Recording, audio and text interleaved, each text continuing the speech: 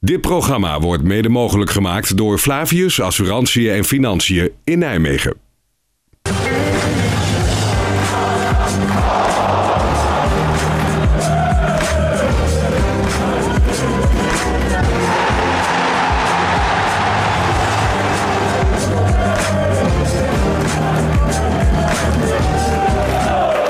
Vanaf de Business Tribune in het Goffertstadion heet ik u van harte welkom bij alweer een nieuwe aflevering van N1C op N1 TV. Hopelijk heeft u op vrijdagavond tussen 7 en 8 uur geluisterd naar N1C op Radio N1, want daar was Peter Wisgerhof te gast. Wat we vanavond voor u in petto hebben op N1C TV is het volgende. Een speciale aflevering van FC Ferdinand, waarbij Huip de Loze te gast is. De huidige trainer van BVC 12, de Beekse voetbalclub, die na dit seizoen zal stoppen als trainer. En Ferdinand heeft een scoop, want hij weet de nieuwe trainer van BVC te noemen. En dat is een ex-NEC-speler. We hebben ook een eh, nieuw interview met Anton Jansen als voorbeschouwing op de wedstrijd van zaterdag tegen PEC Zwolle. Maar we beginnen uiteraard met een terugblik op de wedstrijd van vorige week. Hier in het Goffertstadion verloor NEC met 0-2 van PSV. Anton Jansen, NEC verliest thuis met 2-0 van PSV. Kun je je ploeg iets verwijten? Nou, niet zozeer eh, verwijten, denk ik. Wij wilden graag PSV onder druk zetten. En eh, eh, PSV wilde eigenlijk hetzelfde met ons. Zij zijn daar prima in geslaagd eigenlijk. Want als wij de bal hadden, hadden dan, eh, dan zetten ze meteen druk op ons. De eerste helft eh, hadden we ja, een schot op goal. En eh, ja, jammer dat hij niet erin ging. Dan begonnen we lekker aan de wedstrijd. Maar eh, ja, het was aftasten. We verdedigden goed als team de eerste helft. We hielden het vol. Ik denk dat we verloren hebben van een, eh, van een prima PSV. In de eerste helft, in de openingsfase, zette je wel druk naar voren. Maar ik geloof na pak een beetje een minuut of tien zakt je ploeg verder in. Wat was daar de reden voor? Nou, dat was, eh, dat, dat, eh, dat- je wordt eigenlijk teruggedrongen, want eh, PSV bouwde eerst met twee op. En toen konden ze wat makkelijker onder druk zetten. We kwamen niet echt tot, tot, tot, tot voetbal en kansen, maar we bleven wel heel goed in de wedstrijd. En ja, dan hoop je dat een keer de bal goed valt voor ons. Maar ja, dat, dat lukte niet. En eh, de goal van hun kwam eigenlijk ook min of meer uit de lucht vallen. Wat is er in de rust gezegd? Wat was het strijdplan voor de tweede helft? Ja, gewoon eh, door blijven gaan en eh, gewoon eh, geloven dat we ook kansen kregen. En, eh, ja, we hadden steeds eh, mogelijkheden, maar niet echt zoveel kansen. Maar ja, ik moet zeggen, eh, hoe PSV speelde was eh, ja, ook mooi om naar te kijken. Dat leidde tot, in de eerste helft tot, tot, tot, tot halve mogelijkheden voor PSV. Maar in de tweede helft leidde dat eigenlijk eh, allebei tot de goals. De komende weken zijn heel belangrijk. Directe concurrent eh, Rode JC spelen jullie tegen, ook nog tegen Zwolle. Hoe was nou net de stemming in de kleedkamer? Ja, natuurlijk balen we ervan. En, eh, ja, het is gewoon kloten dat we nu eh, weer verloren hebben. En, ja, we moeten gewoon het positieve eruit halen en weer verder gaan. Ik denk dat we niet de tijd hebben om de kopjes omlaag te houden. En, vooral in deze periode en ook waar we staan.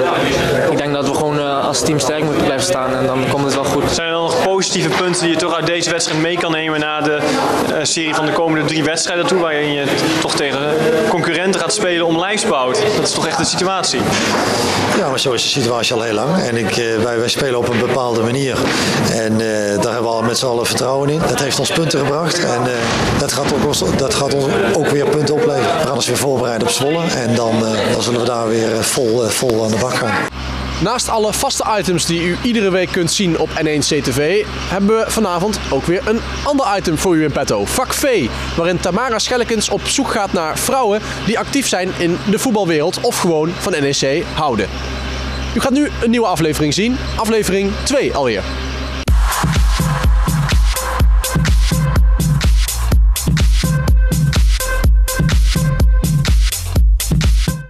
Welkom bij Vak V, het wekelijkse item over vrouwen en NEC.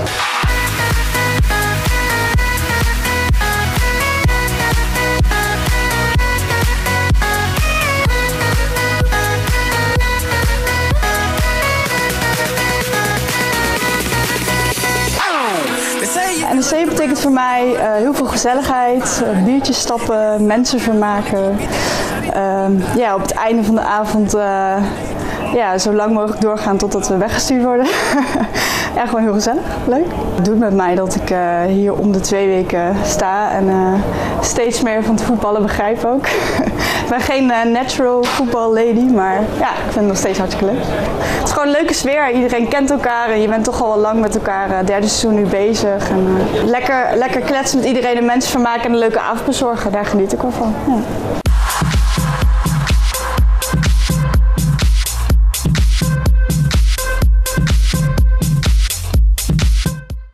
Aanstaande zaterdag om kwart voor zeven speelt NEC de uitwedstrijd tegen PEC Zwolle. Die wedstrijd wordt ook aan het eind van deze maand gespeeld in het IJssel Delta Stadion. Dan speelt NEC in de halve finale van de KNVB-beker tegen de Zwollenaren. Maar eerst dus de eredivisiewedstrijd. Vanmiddag spraken wij hier beneden in de persruimte Anton Jansen over die wedstrijd. Zwolle uh, vorig jaar uit was een... Uh ja, een, een, een beetje een, een normale overwinning voor NEC. Ze wonnen daar volgens mij met 0-4. Daar gingen ze ook naartoe als favoriet. Nu is Zwolle een, een middenmotor, een, een steady midden, uh, middenmotor in de eredivisie. En gek genoeg nu ineens de favoriet tegen NEC. Ik kan me voorstellen dat het ook best wel frustrerend is voor jou. Uh, nou ja, goed. Vorig seizoen uh, was ik er niet bij natuurlijk. En het was in het begin van vorig seizoen, denk ik. Want daarna is het, is het wat minder gegaan. Ja, het ene seizoen is het andere niet. Dat, en zelfs de ene helft is de, is de andere helft niet. Als ik kijk naar vorig seizoen. Ehm, ja, zij staan negen punten hoger, dus en ze spelen thuis. Dan zijn ze automatisch zijn ze, zijn ze favoriet, of worden ze misschien als favoriet gezien. Nou goed, wij, wij weten dat wij zelf ook een, prima elftal hebben en dat we, dat, dat we daar ook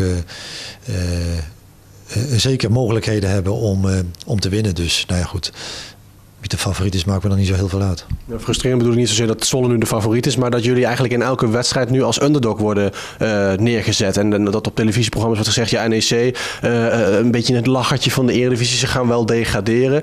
Ja, je, ik neem aan dat je daar wel naar kijkt en denkt van, kunnen die mensen ook eens een keer hun mond houden?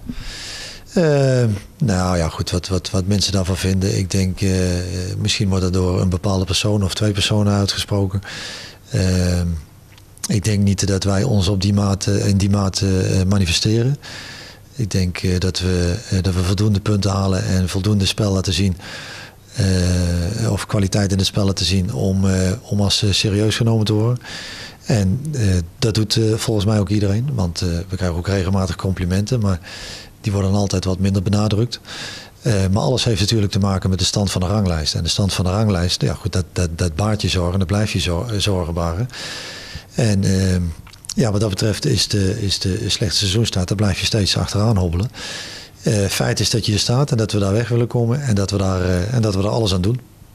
Met welke mensen ga je er mogen alles aan doen? Met dezelfde mensen gaan we starten als we tegen RKC gestart zijn. En met welke mannen gaat het nog niet goed genoeg? zijn nog geblesseerd of ziek, zwak, misselijk? Hans Mulder, die is, die is ziek. En Denzel Gravenberg, die heeft in de wedstrijd tegen, met de belofte tegen Herenveen heeft hij een, een, een, een, klein tikje tegen zijn knie gehad. Dus de pees, wat, daar heeft hij wat last van. Is niet zo ernstig gelukkig, dus die zal volgende week weer aansluiten. Hetzelfde als Hans Mulder. En met uh, Marcel Stutter ziet het er ook goed uit. In die zin dat hij, dat hij weer volop aan het trainen is, individueel. En dat hij ook binnenkort in de, in de groep aan zal sluiten.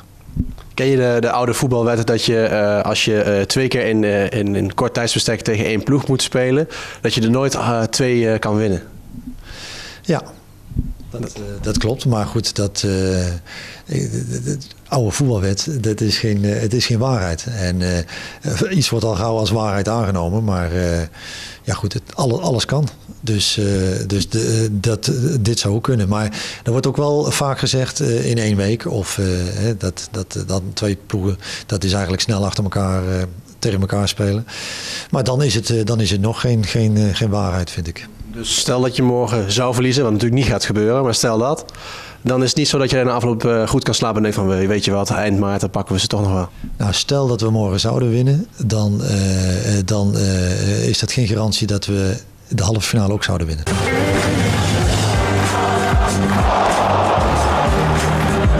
Welkom bij FC Ferdinand. Vandaag maken we kennis met BVC 12, de beide trainers van het eerste elftal. Bijzondere aandacht gaat uit naar Huip de Loze, ook supporter van NEC. Huip, supporter van NEC, waarom? Ja, het is me eigenlijk van vroeger uit al met, de, met de paplepel uh, ingegoten, zeg maar, door mijn vader, die me als kind uh, mee naar de nam. En voor mij is nog steeds NEC de mooiste club van Nederland. Kun je uitleggen waarom dat zo is voor jou?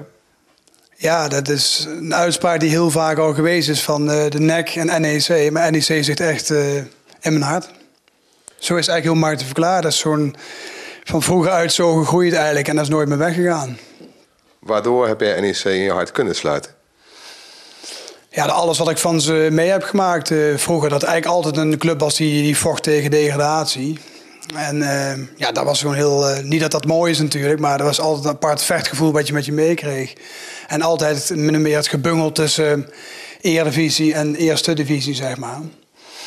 Ja, de laatste jaren is het gevoel eigenlijk nog veel sterker geworden vanwege het Europese verhaal wat we gehad hebben. Ik ben zelf ook mee naar Zagreb geweest uh, met mijn vriend Ivo van Eck. Zijn we samen geweest met één auto. Ja, dat was gewoon mooi. Het was een hele mooie belevenis. Samen weer terug. Uh, ik heb een kennis daar in Kroatië nog in Zagreb. Dus die hebben we ook opgezocht daar.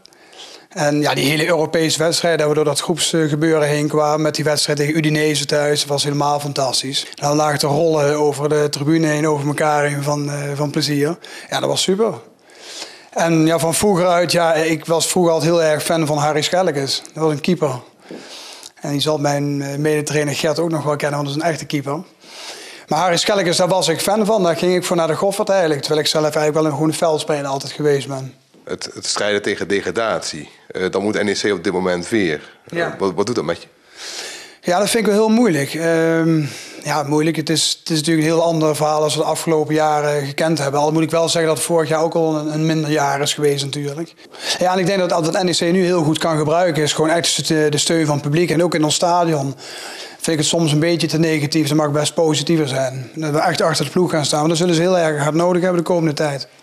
Het komt allemaal al goed als ik je zo hoor. Ja, dat, uh, daar ben ik wel ja, van overtuigd. Zo makkelijk om te zeggen. Maar gewoon, dat hart is zo groot dat dat wel zo uh, moet, uh, moet gaan zijn, ja. En is het dan ook zo dat je nog een, een privésfeer wel merkt als NEC slecht presteert of niet? Om je heen, mensen? Nou, bij, bij mij de jongens in onze ploeg, zeg maar, dat zijn heel veel Ajaxiden. Die hebben dat van vroeger uit niet meegekregen, dat NEC-gevoel. Ondanks dat ze hier ook in de buurt wonen. Maar nee, dat valt op zich wel mee. Dat valt op zich wel mee. We krijgen natuurlijk wel, als, als het slecht gaat, dan hoor je heel snel dat het, oh, ze kunnen er niks van. En uh, een ballenploeg. En uh, ja, goed. Daar wil ik me nu ook niet al tegen verdedigen, hoeft niet. Naast me zit uh, Ger van Soest. Hoe zou u Huip omschrijven? Ja, Huip is een heel erg leergierige jongen. neemt ook graag wat aan. Is, is heel erg begaan met het spelletje ook altijd. Heel af en toe zeg ik dan altijd, ja, ben ik de oude rot en moet je hem wel eens wat remmen. Je foppen aan? Uh, ja, nou ja, zo, zo, zo, zou je dat in die rol kunnen zien, zeg ik dan altijd. We hebben een beetje het Engelse model, zeg ik altijd. Hij is het, uh, de jonge hond die op het veld uh, zich uit mag leven, altijd.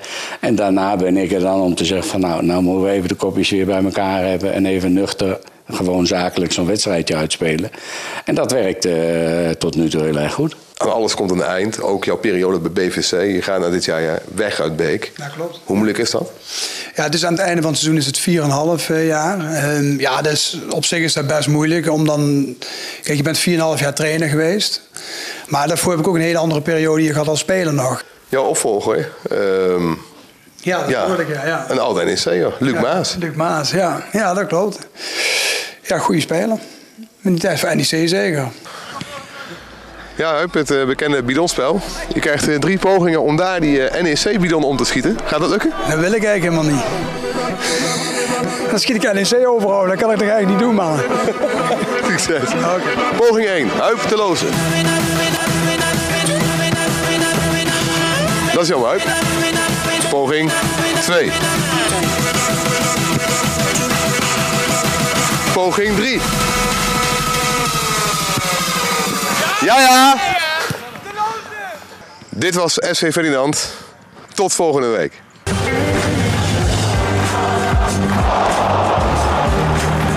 Dat was hem alweer, een nieuwe aflevering van N1 CTV. Hopelijk heb je ervan genoten en kijk je volgende week weer met een nieuwe FC Ferdinand, een nieuwe vak V, voorbeschouwingen en nabeschouwingen. Kortom, dat mag je niet missen. Hoi!